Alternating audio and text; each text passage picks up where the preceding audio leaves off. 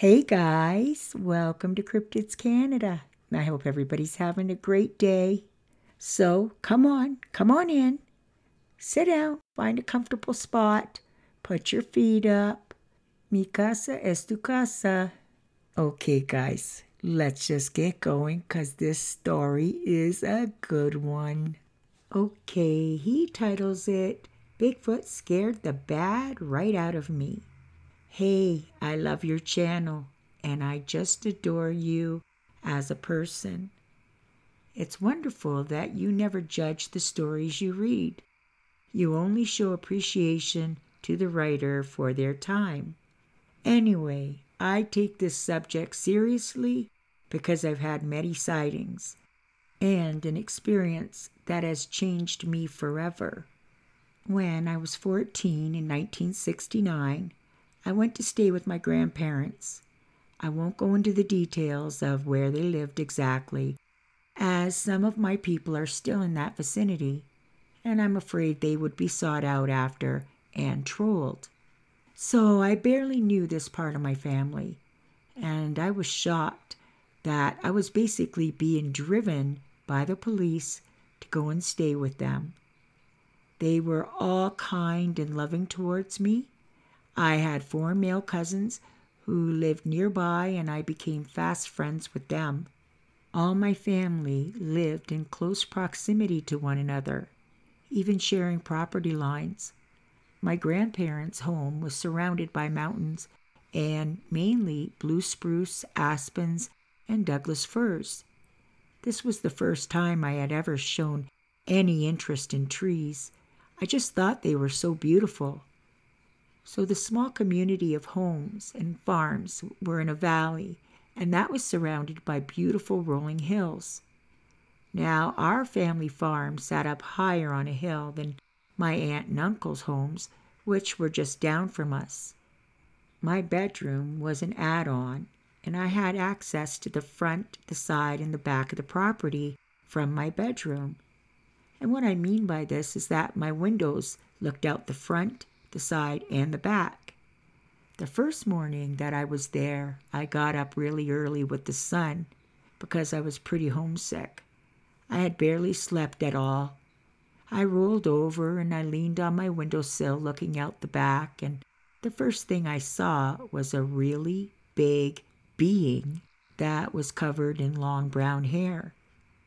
It blended in perfectly to the trees that it was leaning on. I heard the floor creak, and then I heard, Good morning, grandson. How did you sleep? It was my grandfather, and I waved him over and I asked, What was that? And he couldn't see what I was speaking about, but I could clearly see it. It really bothered me that he wouldn't admit that he saw it. So later that day, when my cousins came to introduce themselves, they were all about my age, and we became fast friends.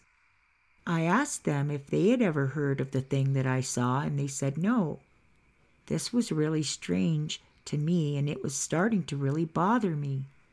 Then I asked my uncle, who I had met the day before, and he looked me in the eye, and I could tell he wanted to believe me, but he was really confused by what I was saying. As for a 14 year old kid, I was just irritated because I knew what I saw. A few days later, I was woken up by what I thought was deep breathing. Although I was awake, I pretended to be sleeping. And after a few minutes, I heard it begin to walk away. I snuck up to the window and I actually saw it slink way down the driveway, then across the side lawn to the house below that belonged to my uncle. It snuck up to the window and it swayed back and forth. But what really freaked me out was when its head came to the center of the window. Normally, that wouldn't be a big deal. But this house had a cellar, and the top floor was on top of it. There were six stairs that led up to the main floor. That would make it at least 12 feet tall by my guesstimate. As I stood there watching this thing, I noticed the light went on in the room and the creature crouched down behind some large water tanks. I saw what looked like my aunt looking out the window. She went from side to side trying to see what had been looking in her window. And then my uncle came out on the front porch. And that's when I seen this thing take off on all fours, running as fast as a horse. I kept all of that to myself. Then I just went back to sleep. Later, the cousins all came and picked me up to go fishing at the large creek that ran through all the properties. We joked back and forth with each other. I felt good with this group of kids. They didn't smoke or swear bad like the kids I got into trouble with. I started noticing that I would get hit with a pebble every now and again. Then I saw it hit the water. I started looking around. I was getting creeped out. That's when I asked the guys if they had heard or saw a really big, giant, wild looking man. And the look they gave me was that I was nuts. So I just shut up. We ended up with a couple of fish each, and we decided we were going to do what they called a catch and cook. So we left all of our fish on stringers, and me and two of the guys left to go get some matches, a pan, and the ingredients that we needed to cook the fish. Two of the guys stayed back and just kept fishing. We were on our way back with all the stuff when the two kids came flying towards us, one of them with a bunch of fish trailing behind him. We heard this loud, terrifying roar and screaming sound coming from the woods. The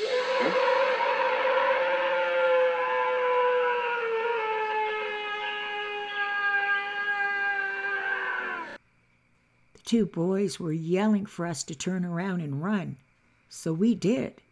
We ran to Grandma and Grandpa's. We burst through the doors and after all the parents had been called and the two boys finally calmed down enough to explain what happened, they said that once we left, they started hearing rocks hit the water. When one of the kids picked up a rock and tossed it across the creek and into the woods, they heard a loud growl, like a giant German shepherd. Then they looked at each other and said, What the heck was that? Then they saw another rock hit the water. Now they were pretty sure that it was us guys who had run down and snuck across the creek that was tossing the rocks at them. So for fun, they started tossing rocks back over, but they were aiming low so as not to hit us hard. The two boys kept the rocks going until the bushes started shaking like mad and then a monster stepped out. It was screaming and shaking its fist. It was running at the water and then it would stop, and then it would do it again. The boys didn't waste another second. They got up and they ran. The one boy who had a hold of two of the three stringers didn't even think when he just started running. He was just trailing those fish behind him. The three uncles grabbed their weapons and went to retrieve the tackle boxes, fishing rods, and fish that were left behind. When they arrived, of course, the fish were gone, and the fishing rods and gear were destroyed and strewn all over the bank of the creek. To me, that was the biggest lesson I have ever learned. I begged and I pleaded with my parents to come home. A few days later, my dad came and got me. My father was stunned to hear that story. Did I learn my lesson? Oh, yes, I did. I just retired from a life of service to the medical community as an ENT, ear, nose, and throat specialist. My four cousins also chose professional paths in life. All five of us studied the sciences, and we were always searching for what we now know as a Bigfoot. Three of my cousins had other encounters. The five of us believe they are complex humans and capable of just as much as us, if not more.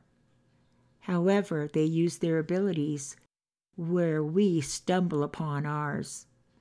Signed, Doc. Well, um, yep, there's another one. I greatly appreciated. It was an amazing story. I too believe they are a type of human. I'm not going to get into all that biblical stuff, but I do believe that, you know, they just went one way and we went the other. Anyways, guys, I think I'm just going to stop there. It's pretty late right now. I hope you enjoyed this video. And you know I love ya. We'll see you back here in a day or two. Bye for now.